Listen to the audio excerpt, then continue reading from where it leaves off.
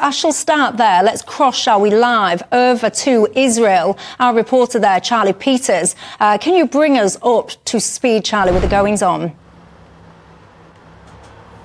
Well, Joe Biden arrived today in probably the most tense atmosphere the Middle East has been in for several years after last night's explosion at a Christian hospital in Gaza City, where Hamas claimed that an Israeli airstrike had killed 500 people. However, this morning the Israeli Defense Force set out their intelligence on the situation and said that the Palestinian Islamic Jihad were to blame. They released both intelligence from imagery and also signals intelligence and footage from the ground to show that the devastation in their mind was not as close as what Hamas had claimed last night. The 500 dead death toll has yet to be verified.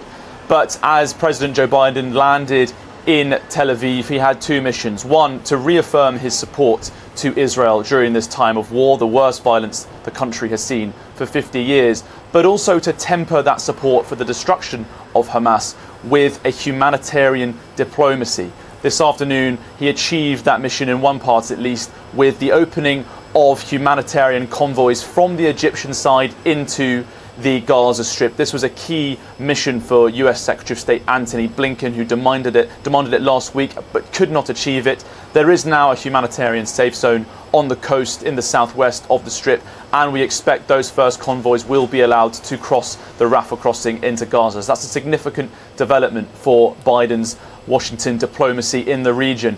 But there are also failures. After last night's reported Israeli airstrikes, since challenged by US intelligence and the Israeli side, the whole of the Arab region has reacted very negatively to both the Israelis and the Americans. There have been widespread protests across the region here. In Amman, in Jordan, people were chanting, We stand by Hamas. And in Ramallah, in the West Bank, we also saw a significant uprising as tensions flared. In the north of the country, there was also a return of the skirmishes and violence that we've seen over the last week, with missiles fired in from southern Lebanon by Lebanese Hezbollah and the IDF responding with artillery and gunfire of their own. So, President Biden left with the message that what he wants above all else is peace. But as he left Tel Aviv tonight, rockets flew in from the Gaza Strip over us, intercepted by Iron Dome. It appears that that demand and that expectation for Joe Biden will have to wait for some time. Charlie Peters, thank you for bringing us up to speed. Uh, and as always, do stay safe. Now, uh, there's been rumours that, of course, we've had Biden there today. Uh, there's been rumours now that Rishi Sunak is planning and preparing uh, for a visit over to Israel in the coming days, which has made me uh, ask tonight a simple question to all your ladies and gents at home and, of course, to my panel. What should Britain's role be in all of this? So I would like your thoughts on that. But for now, Richard, what's your thoughts? I think diplomacy. I don't think we should be sending military equipment, but I think we can use whatever extra diplomatic expertise and persuasion that we can over and above the Americans. And there may be just different ways that we can try and, uh, in a sense, just reduce the extreme tension, the extreme difficulties we all know that propaganda is such a key part of these wars. It's very easy to jump in on either side or the other with the various claims. We have to be very careful about that. Um, I suspect, actually, just from a practical point of view, for the Israelis, just dealing with these high profile visits, the President of the US, possibly the Prime Minister uh, of the UK, uh, Ursula von der Leyen. I mean, it must be a nightmare just dealing with all these when actually you're, you're, you're in the middle of a war. You're trying to defend your own people. Yeah, and I think it was um, Olaf Scholz as well when he was preparing to leave on Tuesday. They had to evacuate his plane because of uh, rocket, rocket attacks and stuff. Let me just ask you this though, because apparently we have already directed uh, military assets over uh, to the eastern uh, Mediterranean. So just to give you um, some idea, the military package uh, includes P-8 aircraft, surveillance uh, assets, two Royal Navy ships, three Merlin helicopters, and apparently a company of Royal Marines. the suggestion here is that this is all about offering deterrence and assurance. But that's a difference to actually providing military equipment on the ground, which is, of course, what we've done with Ukraine. I mean, that list sounds back, like pretty much the whole of our Royal Navy. But do you back that? I mean, let me bring you in as well, Atul. What, what do you think about our position and, and, our response and what we're doing? I think it's important that Rishi Sunak goes to Israel, um, and I disagree with Richard on uh, for three reasons. One, to show that the members of the Jewish community in Britain this matters. And it's not just a transactional political thing, it's important enough for the leader of the country to go because it's a, such a trauma for the Jewish community in this country. Two, there are Britons who are kidnapped and in Gaza, mm. and to make do whatever we can do to push this up the agenda, the freedom for those Britons, and incidentally, maybe some of those assets being moved uh, into the Eastern Mediterranean.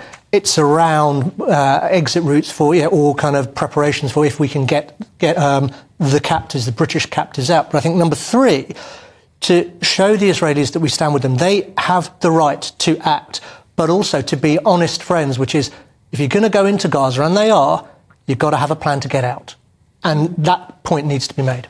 But who, do you think there is a plan as to because uh, it, it's all well and good saying okay we're going to respond understandably by the way who wouldn't want to respond to what happened um, on October the seventh I think you know no questions there. But do you think that people are thinking through the long term aim? Because yes it's one thing kind of going right okay we stand in solidarity we uh, we're friends or whatever your terminology was but what is the long term plan here? Because there are people now they will be getting radicalized all over the place. Social media if you ask me is a, a very dangerous tool at the moment because within minutes of things happening, like you saw that hospital attack last mm-hmm. night, within literally, well, not even minutes, within seconds of these things um, happening, you've got so many messages being uh, splashed out to people. This was the Israelis. People are then getting infuriated, responding. Charlie was just saying then you've seen uh, protests all over places in the Middle East. Tensions are really getting inflamed now. So do you think enough thought uh, and enough joined up thinking perhaps is going into the longer term?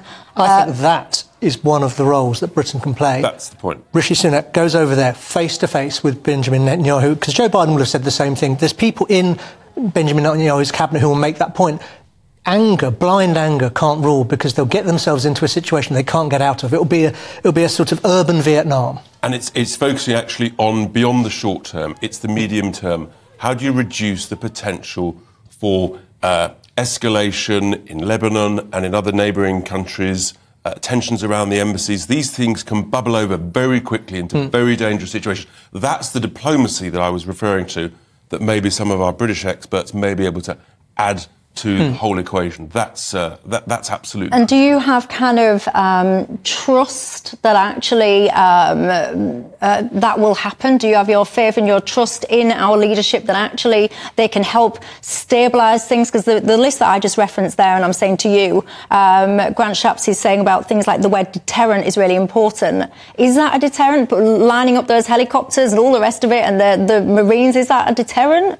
Well, it's look, it's something, but you have to you have to try with the diplomacy. It's incredibly difficult. So many great people have tried for so many, frankly, mm. decades. So this is not easy. But this is potentially this is because it's for Israel. It's bigger than 9/11. Mm, Maybe this is that sort of seismic existential moment where people actually have to say enough is enough. Hamas have to be removed from Gaza once and for all, and come up with a a, a different, bolder, more radical solution because otherwise this just goes on mm. and on. And frankly, everybody suffers and many, many more people sadly die. Yeah, and um, uh, Humza Yousaf uh, as well, he's been speaking out over the last day or so. Let's listen. Of course, you'll be familiar with the fact that his uh, family are, are currently in Gaza.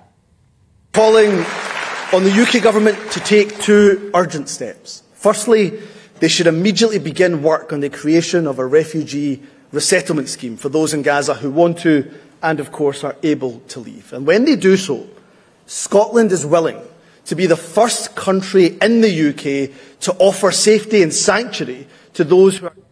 And he also went on to say that um, basically the hospitals in Scotland would be ready um, to provide treatment to those people that have been injured um, in Gaza, etc. I mean, do you agree with what he's saying?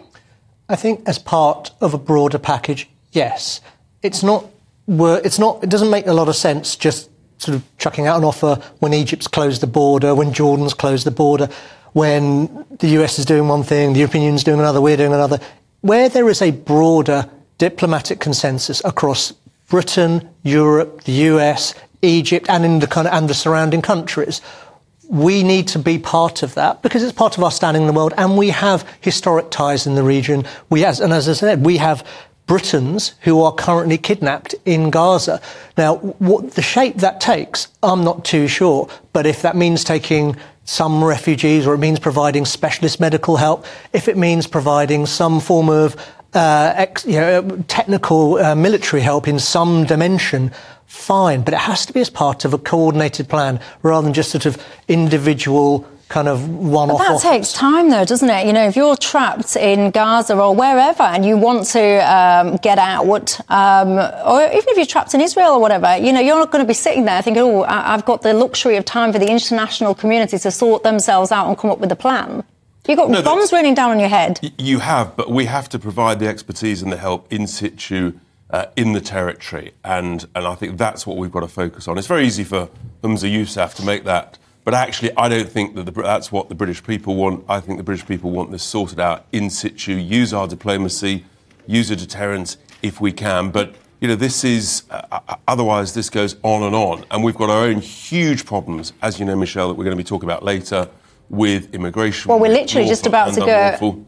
So, you know, we've got massive issues ourselves. You've just teed that up nicely for me because we are indeed um, about to come on to that very topic. So I will throw that open to you at home. What did you think to what um, SNP leader was saying then about opening essentially uh, routes the way that I guess we did in Ukraine? Would that be something that you would get behind? Um, let me know your thoughts on that. We're talking about people, uh, Brits that have died as well. Of course, just to remind us all, uh, seven Brits uh, very sadly have been confirmed to be, be dead, um, killed in this uh, atrocity. And also, as well, I think there's nine hostages that we currently know of